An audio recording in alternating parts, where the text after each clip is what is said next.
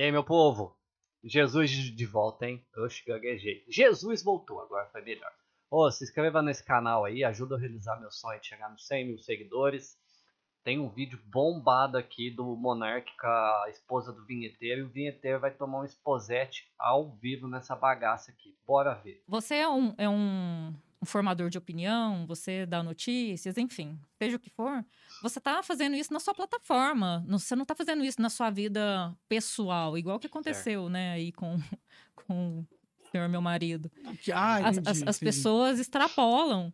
Não, tipo... sim, elas cometem crime. É, tipo, o que não. aconteceu com, com o caso lá que aconteceu com o é, é assédio moral, sei lá. O, não, então, você tá. Ameaça, alguma coisa assim. Não, as pessoas não entendem que você tá numa plataforma emitindo opinião e. Isso não, isso não te dá o direito isso não quer dizer que ele vai ficar omitindo, emitindo a opinião dele na rua e bater boca com qualquer pessoa que chegar nele. Vamos lá, recordando aqui, o vinheteiro foi abordado na rua por dois funkeiros que meteram o louco nele, porque o vinheteiro vive falando bosta do funk, de todas as músicas do funk. Então, o que eles estão querendo dizer é: ai, meu maridinho, coitado, tava lá na plataforma dando opinião bosta dele, mas aí o pessoal encontrou ele na rua, se quiser dar opinião, eles têm que criar a plataforma deles e dar opinião por lá. Não vamos levar as coisas pro pessoal. É isso que ela tá querendo dizer, tá, pessoal? Vamos lá. É, só ele, o Vitor tem direito de não gostar de qualquer Sim, estilo musical que ele Ele tem o direito de não gostar. Tem... Ah, e onde tá a liberdade de expressão que você tanto pede, Monarca? A liberdade de expressão tá aí, ué. Você pediu, ela veio. O direito de opinar, sendo opinião positiva ou negativa. A pessoa tem todo o direito de gostar ou não gostar. Mas. E dar sua opinião, só não pode Sim, ir mas... colar no cara e ameaçar ele. Não, de, aí você tá indo pro pessoal. Você tá indo pro crime. Mas, mas você Sabe quando a rotina Ai, de estudo Monark já está falando ficando... em crime, né? Isso aí, Monark.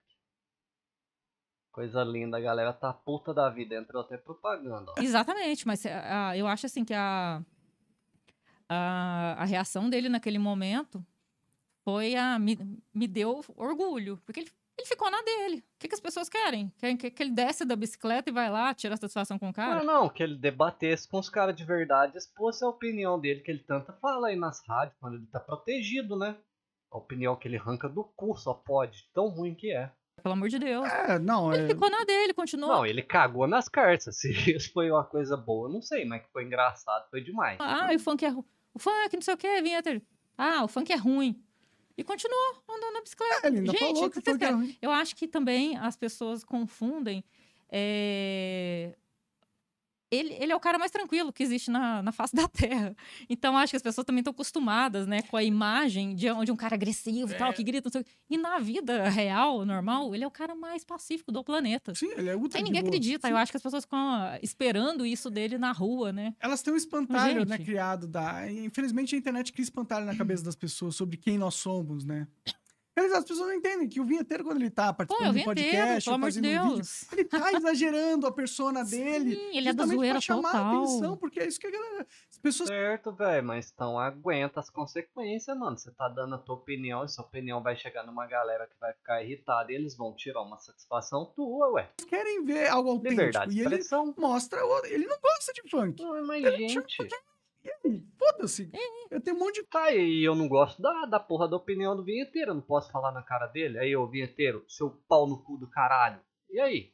A liberdade de expressão veio, vocês não pediu? Coisa, Mesma coisa que o funkeiro não vai gostar de música clássica. Pergunta pro funkeiro, você gosta de... Agora aqui já é um pré-conceito da senhorita, né?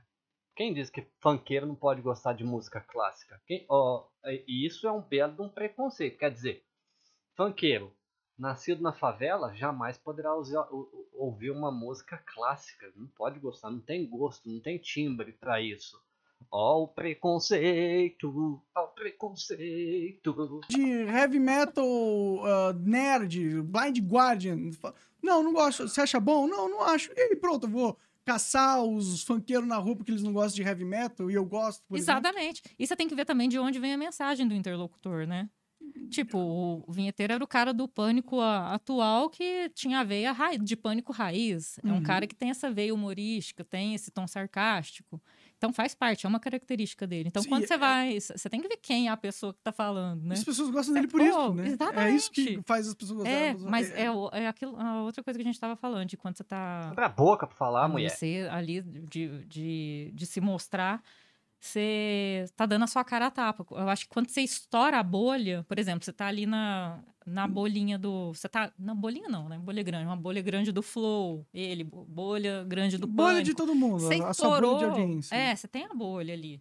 Por Das exemplo, lá no interior de. Goiás, eu sou do interior de Goiás, eu nem sabia que o, que o pânico existia ainda. Então é uma bolha. Uhum, É claro, bem mais sim, forte em sim, São Paulo. Sim.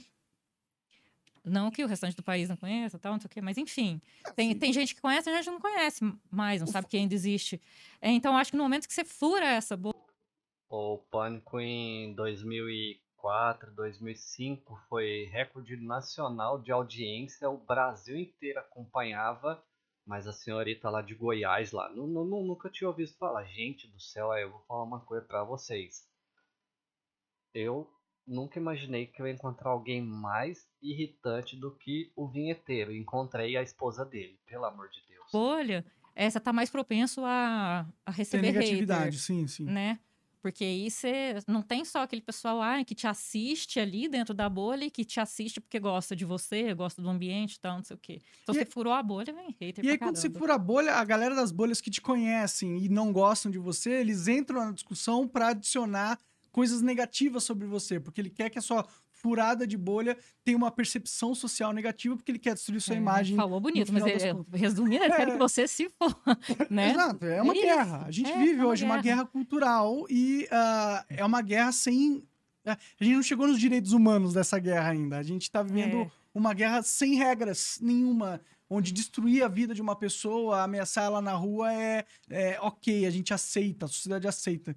Infelizmente, o que é um absurdo, porque É um até em absurdo, guerras porque- tem, tem é, regras. porque né? o, cara vai lá, faz isso, então ele dá o exemplo, aí os caras é, concordam com isso, com o que, com o que o cara faz, como se fosse certo e não é. Aplaudem, né? Como se fosse uma. Uh, o cara fez algo bom. Não, ele fez Gente, foi um otário. ridículo. Foi, Ah, sim. sim. foi ridículo. Né? Então, Os- os não, não tem no- ali, não tem noção do. Inclusive, se eu sou um funkeiro, eu ia ficar puto com esses caras porque eles estão sujando a imagem do funk. entendeu? Exatamente. Ué, Tipo, eles estão Estão assinando falando. embaixo do que o Vinheteiro sempre falou. É, o vinheteiro fica falando que vocês são bandidos. que não- O vinheteiro vive falando que o funk é uma merda. Agora, o lance do vinheteiro falar que funkeiro é bandido é outro preconceito aí, né?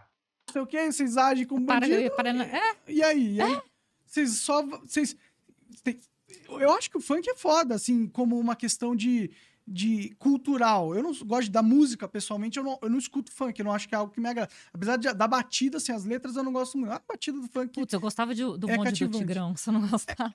A gente, Adoro o bonde do Tigrão. sim, então, o funk tem um espaço na música, eu acho que é importante, ele é cultura brasileira e tal, mas ao mesmo tempo, Eu, né, é, eu, você. eu acho que tem as vertentes também, né? Tem a vertente apelativa do, do funk e, erótica ali, que eu, que eu não gosto. Acho que não, não precisava. assim, Mas é tipo aquele. aquele acho que nem é funk, aí é Funk mais pro hip hop, né? Do, do cara ali. Tipo. é- é, ele contando a vida dele, trajetória, eu acho super legal. É, eu acho que Entende isso aí muito, sim é, é benéfico pro menininho ali que tá vendo, fala, ó, o cara subiu na vida, ele tá contando a história dele e tal, não sei o quê. sim. Mas eu acho Oh, mas de novo essa desgraça dessa música, velho.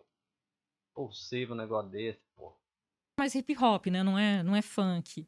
O Mas fun- tem o enfim, funk isso- de ostentação também. Eu, eu, eu acho que, tipo, o funk pode passar uma mensagem de, de, de, de, de abraçar a- as pessoas que não estão no universo do funk, entendeu?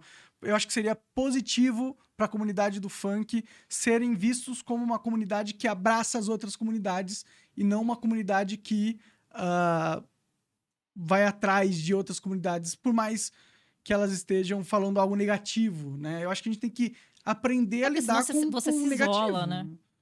Porque senão você se isola ali no mundinho e não. E não... E, e- e que todo mundo que. Aí você fica contra todo mundo e fica cada um ali na sua panelinha. E eu acho que tem que agregar, né? Sim, sim. Respeitar a opinião, é, gente. É, eu, pô, eu acho que o, o tanto de gente que fala mal de mim na, é, na- no É, Twitter, se me chama de. tirar a satisfação com Eu todo mundo. vou tirar com todo mundo? Não, não vou. Gente, não vou dá. deixar a pessoa. Ela tem uma imagem ruim de mim, ela mexe com bosta, um nazista, o caralho. Tá bom, eu, é a cabeça dela, eu não preciso mudar a cabeça dela. Mas hoje, com o celular, também tá muito fácil você crescer em cima da pessoa, né? Você vê o cara na rua, ah, lá, você vai. É verdade. Quer dizer, eu posso usar os funkeiros como escada, né? Meu marido pode subir na vida falando mal do funk, de tudo que os funkeiros fazem, mas os funkeiros jamais podem encontrar meu marido na rua e tentar tirar uma ondinha, tirar uma satisfação, que foi o que aconteceu. Uma liberdade de expressão. Só isso. Mas pra eles é dois pesos e duas medidas. Meu Deus do céu. Cria um showzinho ali, É verdade, é verdade. né? Será que falhou a sociedade? É, meu marido pode fazer o showzinho, ficar milionário, já que ele já é milionário, ganhar mais dinheiro, encher o cu de dinheiro, mas a galera não pode usar dessa forma não. Oxi, ainda mais porque você tem um celularzinho, se tiver as câmeras da Jovem Pan na tua cara, aí sim, aí você pode ser preconceituoso, falar mal do funk, falar mal do que você quiser. Mas se você estiver na rua, não faz isso não, por favor, hein? em grandes metrópoles? Será que o Às vezes eu penso, o caminho é ir pra uma fazenda afastada, com internet do Elon Musk lá via satélite, uma inteligência artificial, um robozinho cuidando da sua horta, entendeu? Um negócio assim. Cada ser humano vai pro seu cantinho, assim, não precisa ficar todo mundo amontoado. Porque muitos dos problemas sociais que a gente tem é isso. É... tem- São Paulo, sei lá, tem 16 milhões de pessoas amontoadas num espaço minúsculo, Sim. Com diversidade de pensamento incrível, tendo que conviver diariamente, fisicamente e online, toda hora. Eu acho que não sei se isso é talvez muito pra Mas eu acho que é isso que o, home, que o home office veio pra dar uma mudada. uma mudada, assim, no sentido de acordar a gente e pra gente começar a dar mais, dar mais valor em essa vidinha que você falou. Não ficar em casa, mas também ali ter, a- ter Ter a a sua, sua sua vidinha mais e- low profile. É. É, se bem que tá acabando essa tendência aí de, de home Não, office, não. né? Tá, né? O Sim. home office acabou faz mais de um ano. Ai, é muito bom ver a burguesia que fica presa dentro do teu, do teu, do teu globozinho, assim, né? Da, da tua bolha, né, velho? Eles estão presos dentro de uma bolhazinha, eles vivem aquilo. Fora disso, nossa, meu Deus do céu, ela não conseguiu nem completar o raciocínio dela sobre o, o, o, o, o home office. A gente continua, você também, né? É, é que na verdade a gente, A não gente trabalha pra ninguém. né? completamente em casa. É, a trabalha gente- pra gente mesmo, Sim, né? então. Mas então, a, a sim. gente que trabalha pra gente mesmo trabalha mu- muito mais. Ah, sim, porque você eu não trabalho trabalha. sábado, domingo, todo dia. Sim. Aí tem um dia que na segunda-feira, na quarta-feira eu não trabalho. Mas vai lá, Roberto tá lá trabalhando sábado, domingo. No final das contas, a, a, a- a fase do Mario é tá seu- sempre acabando. Se você não corre, uma hora. É a fase do Mário. É, aquela fase do Mario que acaba, que vai acabando assim. A vida é isso, é sempre uma vida é corrida isso. numa rodinha de hamster pra gente conseguir gerar lucro e ser útil pra sociedade de alguma forma, pra manter um, um estilo de vida e assim se manter até morrer, né? Eu acho que é isso. Brasil, vocês encontram alguma utilidade para a sociedade dessas duas pessoas que se encontram aqui na tela? Coloca aí nos comentários para eu saber qual que é a sua utilidade para nossa sociedade e deixa o likezão aí, nem se for por pena, pelo amor de Deus, né? pelo amor de Jesus. Ajude eu a realizar o sonho de chegar nos 100 mil seguidores, Brasil. E se você quiser ajudar no Pix, PayPal, vai estar tudo aí debaixo na descrição, hein? Tem seis vídeos novos por dia nessa porra desse canal aqui. Abraço sagrado da Cibernética e fui.